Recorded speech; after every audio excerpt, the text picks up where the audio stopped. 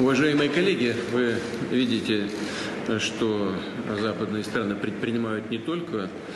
недружественные действия в отношении нашей страны в экономической сфере, я имею в виду нелегитимные санкции, о которых все хорошо знают, но